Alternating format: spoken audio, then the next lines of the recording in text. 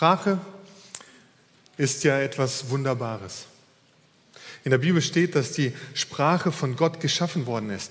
Ja, und dennoch stellt sie Gott uns zur Verfügung, dass wir sie kreativ gebrauchen und vor allem nutzen für die Kommunikation. Auch Gott selbst benutzt die Sprache, um mit uns zu kommunizieren. Und die Sprache hat aber eine Eigenschaft, dass sie nicht so präzise ist, wie zum Beispiel die Mathematik. In der Mathematik sind die Ausdrücke ähm, sehr eindeutig. Ja? Was am einen Ende der Gleichung steht, entspricht genau dem, was auf der anderen Seite steht. Und in unserer Sprache brauchen, brauchen wir oft eine Definition für Begriffe.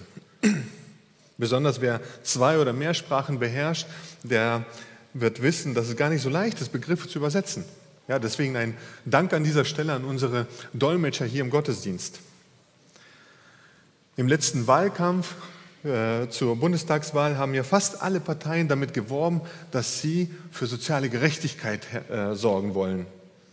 Das ist ja ein gutes Anliegen, ja. Wir sind ja alle für Gerechtigkeit. Und doch versteht jede Partei etwas ganz anderes darunter. Und so merken wir, dass die Begriffe erklärt werden müssen, was damit gemeint ist.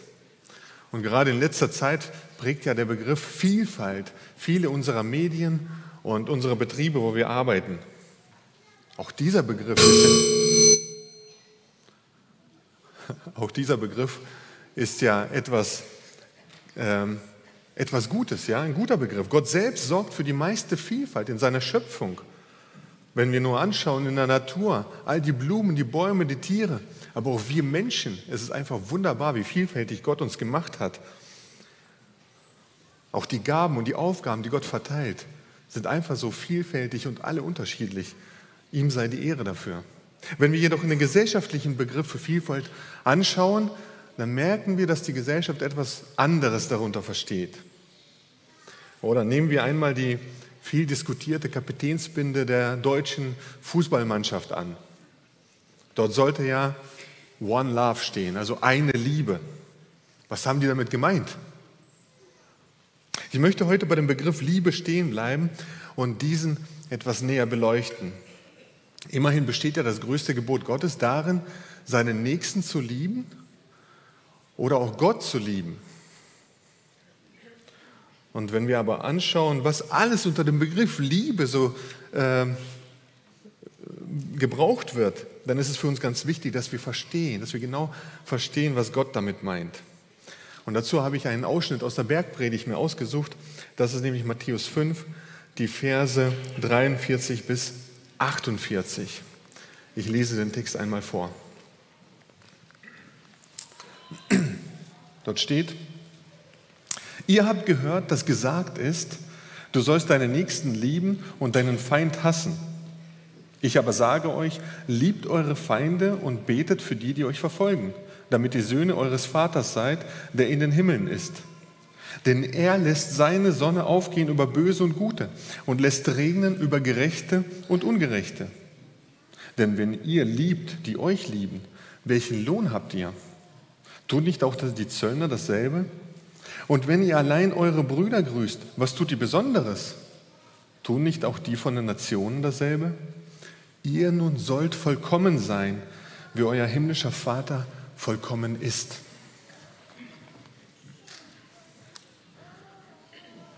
Was bei uns unter Bergpredigt äh, bekannt ist, ist eine sehr wertvolle Lehre Jesu für seine Jünger. Der Herr Jesus hat ja ganz auf verschiedene Art und Weisen gepredigt und gelehrt. Er hat zum Beispiel in der Synagoge aus der Schrift vorgelesen und gelehrt. Dann hat er auf den Straßen gelehrt, alle Menschen äh, damit äh, die es hören sollen. Und der Herr hat besonders in der zweiten Hälfte seiner Wirkzeit hier auf der Erde in Gleichnissen gelehrt. Aber hier lehrt der Herr Jesus seine Jünger. Also Menschen, die bereits zu ihm gehören. Und er lehrt es direkt und konkret. Und gerade die Bergpredigt dient dazu, die allgemein verbreitete falsche Vorstellung von Gott zu korrigieren, die falsche Lehre richtig zu stellen. Sie soll den Jüngern dieses Umdenken ermöglichen, was Gott ja von uns allen fordert, was wir alle brauchen. Das Umdenken, das richtige Denken. Und da sieht man besonders zu Beginn des Abschnittes. Dort steht, ihr habt gehört, dass gesagt ist, du sollst deinen Nächsten lieben und deinen Feind hassen. Und hier erkennen wir schon, dass die Menschen damals genau, genau wie wir heute im Prinzip, nicht genau verstanden haben, was lieben heißt. Gott hat in seinem Wort gesagt, liebe deinen Nächsten. Und der Mensch fügt hinzu, hasse deinen Feind. In der ganzen Bergpredigt geht der Herr Jesus auf die falschen Lehren ein, die überliefert worden sind. Wir müssen verstehen oder wir müssen wissen, dass zu der Zeit Jesu die Mishnah, das ist eine Art Kommentar oder eine Hilfestellung, um das Wort Gottes zu verstehen, das wurde damals zum überlieferten Wort Gottes, zum mündlich überlieferten Wort Gottes erklärt. Und genau da entsteht ja das Problem. Wo Menschenworte das Wort Gottes ersetzen oder ergänzen, da gibt es auch die größten Abweichungen. Und so sind die meisten Sekten entstanden. Aber auch die Irrlehren der großen Kirchen sind genau so entstanden.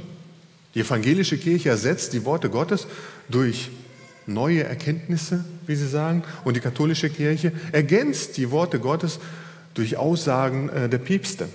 Beides führt im Prinzip zum Abfall vom Glauben, zur Abkehr. Die falschen Lehren und der falsche Glaube verfestigen sich in den Köpfen, je öfter sie wiederholt werden. Und die Essener, das ist so eine, eine, eine Sekte, eine Gruppe, die die Schriftrollen vom Toten Meer aufbewahrt haben. Vielleicht ist das so die Verbindung.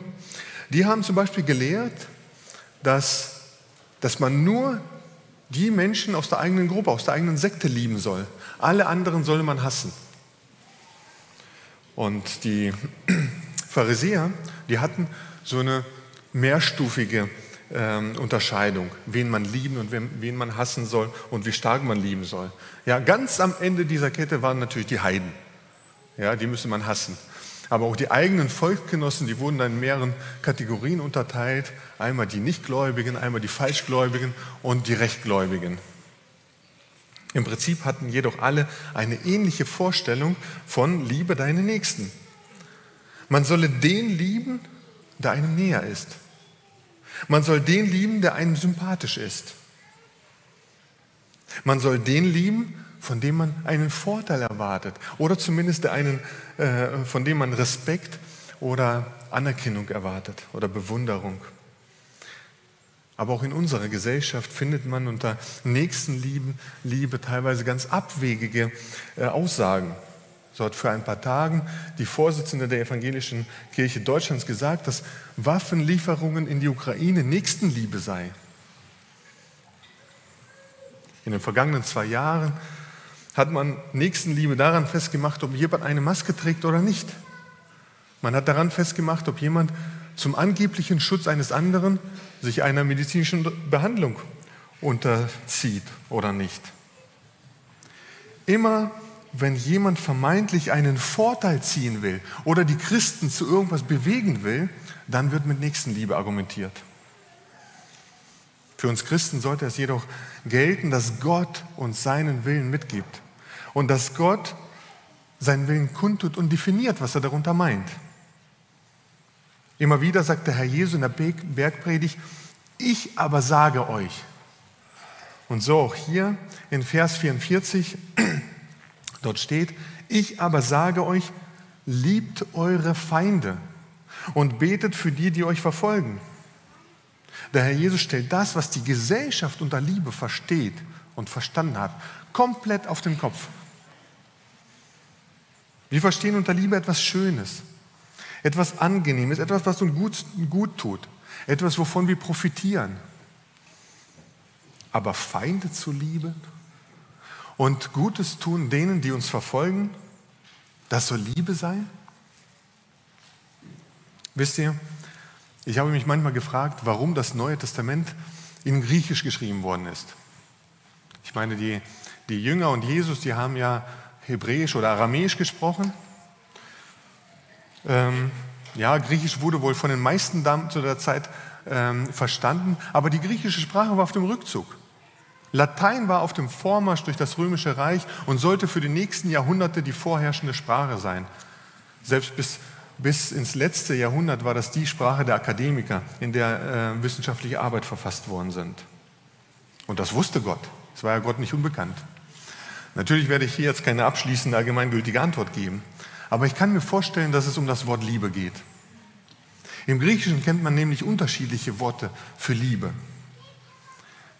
Die meistgebrauchten waren zum einen der Begriff Phileo. Ja, das ist eine Liebe zu Dingen oder Menschen, ja, die einem vom Vorteil sind. Ja, zum Beispiel liebt man einen Freund, weil der Freund mich selber auch liebt. Und wir helfen einander, unterstützen einander. Oder man liebt die Weisheit, ja, Philosophie, die Liebe zur Weisheit. Warum? Weil die Weisheit mich klug macht und mich äh, klug erscheinen lässt. Der zweite Begriff ist Eros. Dieser Begriff äh, drückt ganz speziell die zwischengeschlechtliche Anziehungskraft aus. Ja, dieser Begriff beschreibt dieses Bedürfnis und das Verlangen nach körperlicher Nähe. Und äh, wir kennen im Deutschen diesen Begriff auch. Das wird in der Erotik genannt. Als in der Antike jüdische Gelehrte die Bibel übersetzt haben, einige Jahrhunderte bevor Christus kam, da haben die Menschen nach einem Wort gesucht, das die Liebe Gottes zu uns Menschen beschreibt. Gott braucht uns Menschen nicht. Er hat keinen Vorteil von uns. Und erotisch ist diese Liebe auch nicht. Gott liebt nämlich einseitig und hingebungsvoll. Da sieht man zum Beispiel an den Bündnissen mit den Erzvätern. Gott ist es derjenige, der segnet. Gott ist es, der gibt. Gott ist es, der beschenkt und äh, verspricht. Die Übersetzer haben daraufhin ein griechisches Wort genommen, das im Griechischen selten Anwendung findet. So ein fades Wort, das nicht eindeutig belegt war. Das war das Wort Agapau. Das haben sie für die Liebe Gottes verwendet. Und so haben die Übersetzer der Bibel im Prinzip das Wort Agapau oder Agape ist für uns besser bekannt als die Liebe Gottes definiert. Und das ist die Liebe, die Gott uns gebietet. Diese Liebe kann man nämlich gebieten und verlangen. Wenn die Liebe ein Gefühl wäre, könnte man dieses nicht gebieten. Gefühle kommen und gehen, Gefühle ergeben sich aus Situationen. Aber Agape-Liebe, diese kann man befehlen. Und das ist der Grund, warum der Herr Jesus hier sagen kann, liebt eure Feinde. Der Herr Jesus befiehlt mir nicht, dass ich gute Gefühle meinen Feinden gegenüber habe. Das kann ich nicht. Ich habe ja noch nicht mal immer gute Gefühle meinen Kindern oder meiner Frau gegenüber. Was kann ich aber meinem Feind tun? Der Herr Jesus ergänzt diesen Satz mit und betet für die, die euch verfolgen.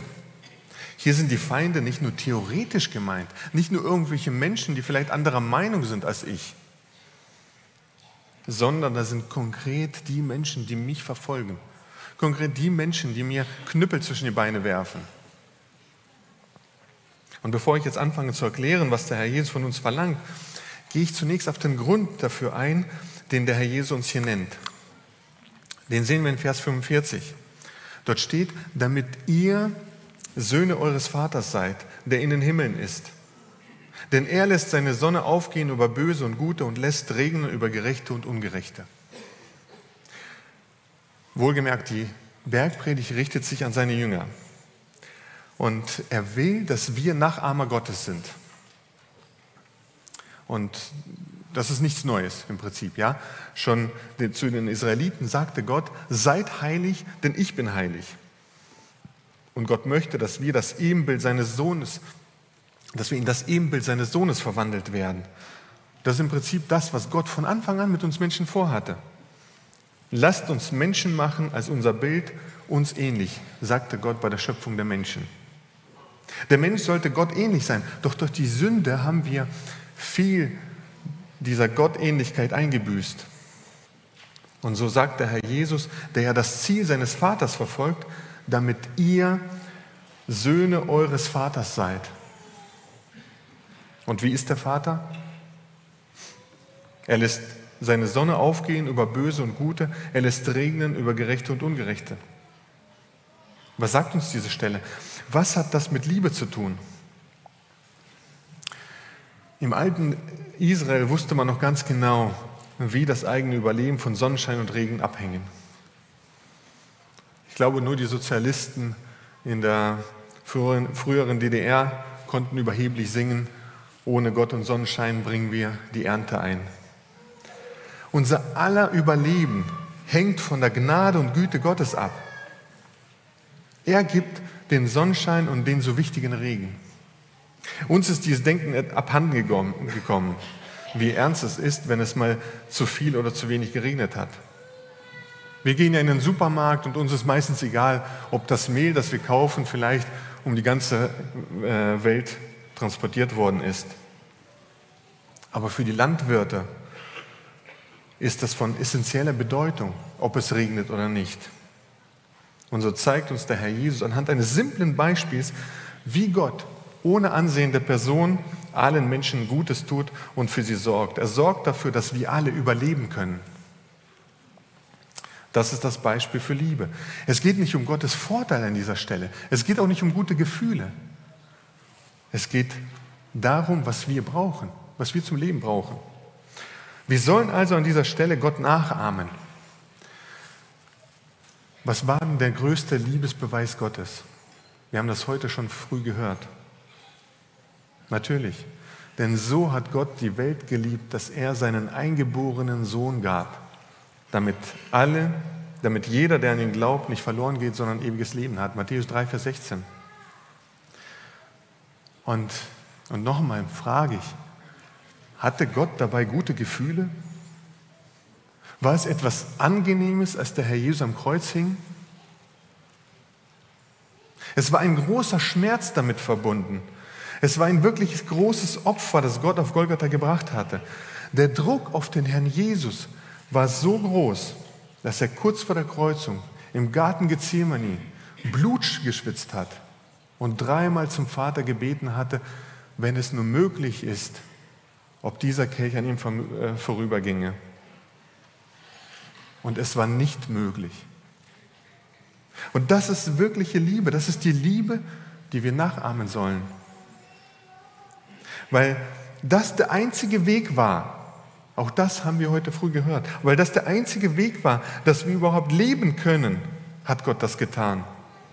Gott hat uns seine Liebe bewiesen, indem er uns genau das gab, was wir brauchen, um zu leben. Und das geht sogar noch weiter. Paulus schreibt an die Römer in äh, Kapitel 5, Vers 10, als wir Feinde waren, wurden wir mit Gott versöhnt durch den Tod seines Sohnes. Das ist die Feindesliebe Gottes, die uns hier der Herr Jesus mitgibt und die er von seinen Jüngern fordert. Der natürliche Mensch will nichts mit Gott zu tun haben. Der Mensch will selbst Gott sein, er will selbst Bedeutung haben. Der Mensch will selbst bestimmen, was gut und was böse ist. Und das macht uns zu Gottes Feinden. Ich möchte an dieser Stelle zusammenfassen, bevor wir dann zu den, äh, zu den nächsten Versen kommen. Wir sehen, zu lieben, wie Gott liebt, heißt demnach, das dem Nächsten zu tun, was dieser wirklich benötigt. Und das gilt selbst, gilt selbst für Feinde. Der Nächste ist jeder, der in meiner Nähe, in meiner unmittelbaren Nähe ist, unabhängig davon, ob ich ihn sympathisch finde oder nicht. Selbst ein Feind, der mich verfolgt, ist ein Nächster.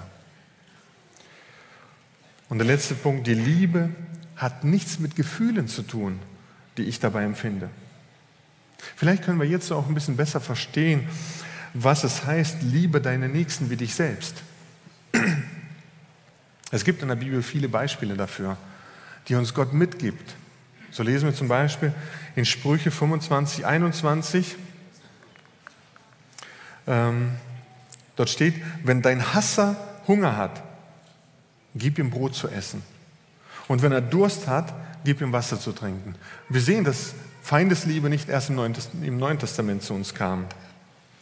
Oder besonders für Männer wichtig, ähm, schreibt Paulus im Brief an die Epheser, Kapitel 5, Vers 25, ihr Männer liebt eure Frauen, wie auch der Christus die Gemeinde geliebt und sich selbst für sie hingegeben hat. Auch hier wird uns Jesus Christus als Vorbild hingestellt, als Beispiel gegeben. Aber Paulus wird auch konkreter, damit wir nicht etwa meinen, dass wir schon unsere Frauen lieben, wenn wir bereit sind, in den Tod für sie zu gehen.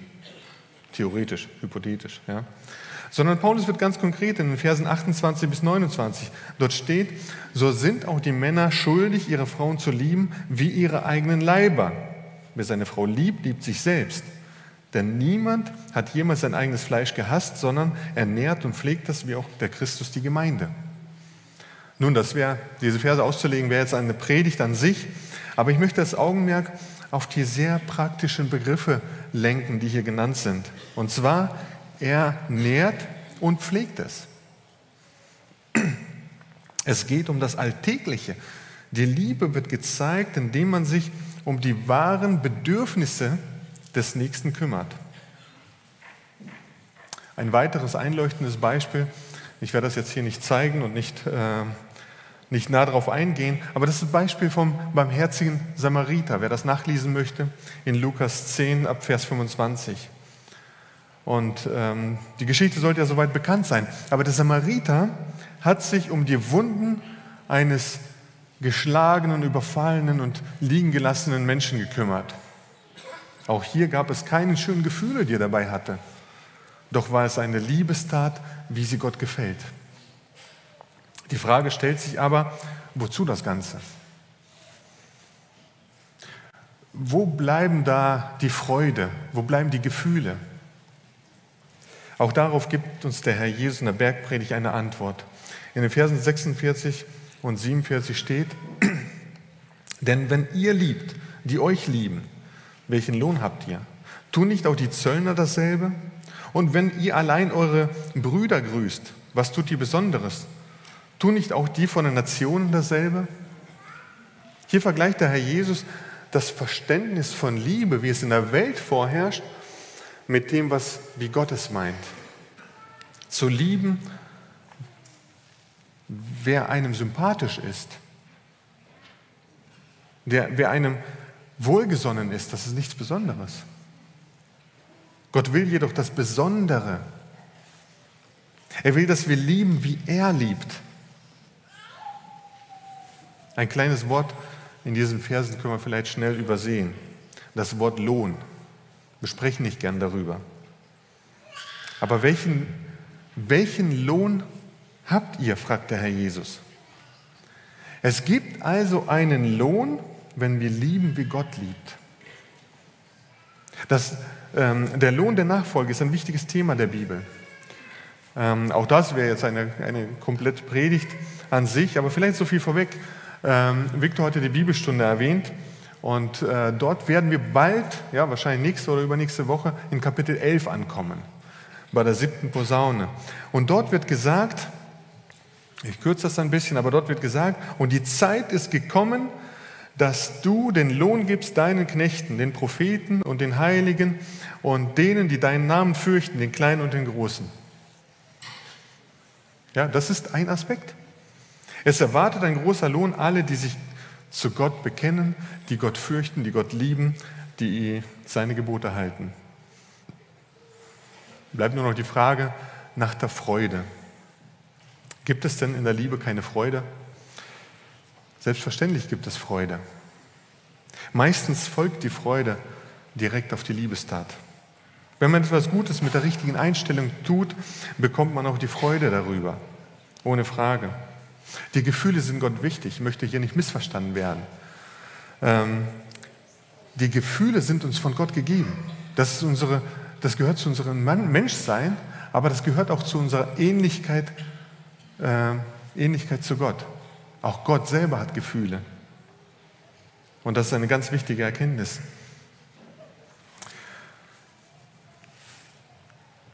Aber die Liebe, wie sie Gott fordert, ist eben kein Gefühl. Denn die Gefühle sollen nicht unser Antrieb sein. Gefühle können gehen kommen, äh, und, und äh, können kommen, können gehen.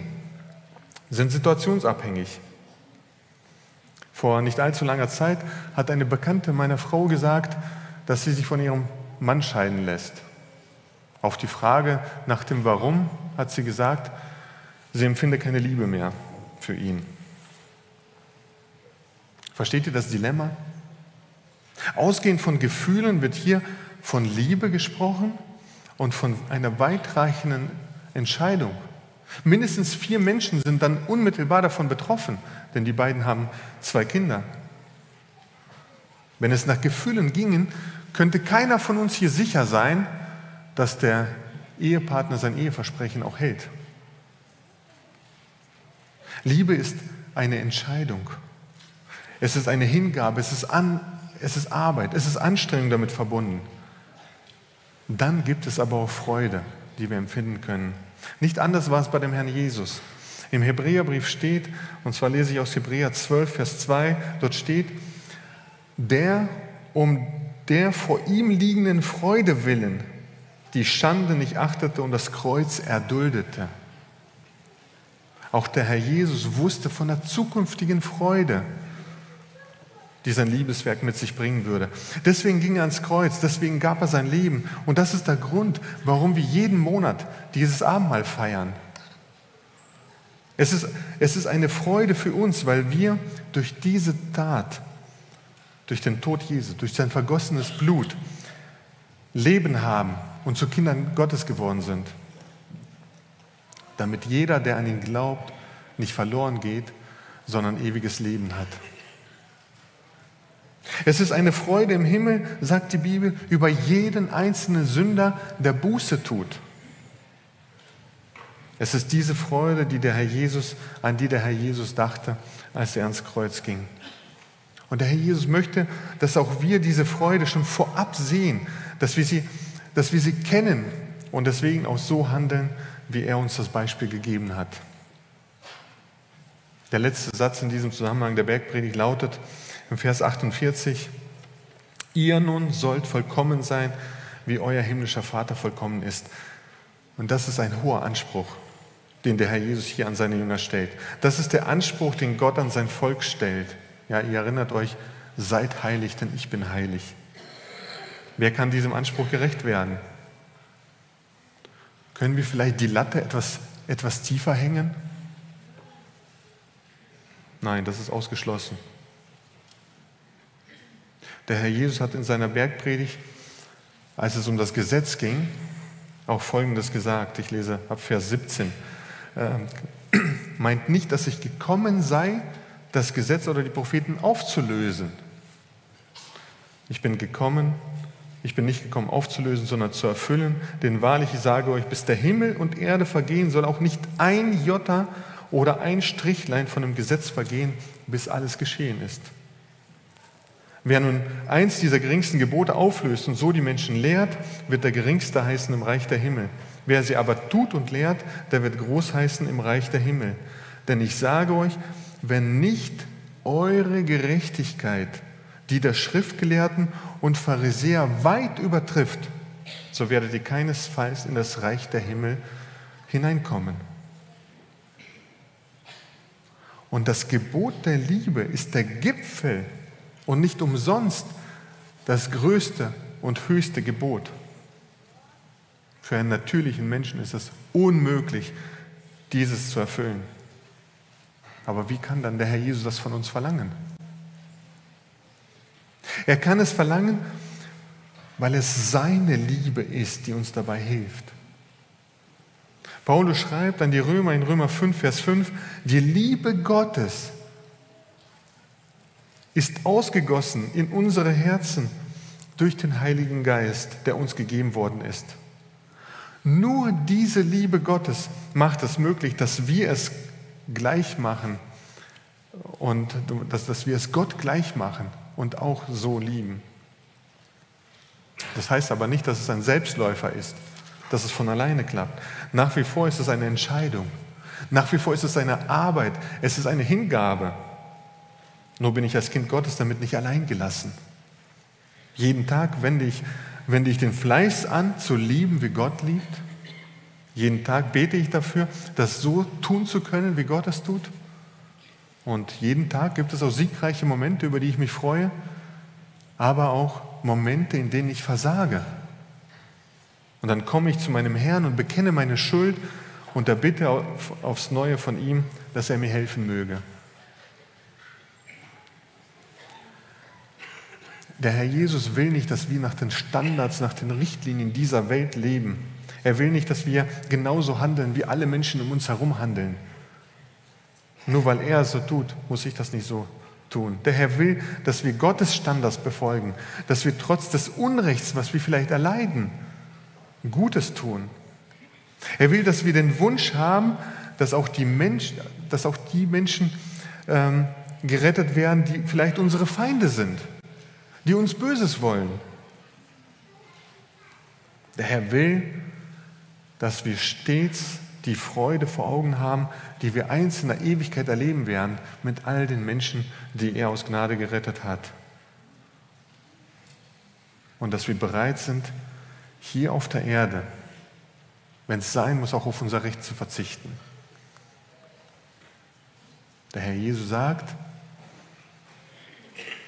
zu dir persönlich, du nun sollst vollkommen sein, wie dein himmlischer Vater vollkommen ist. Amen.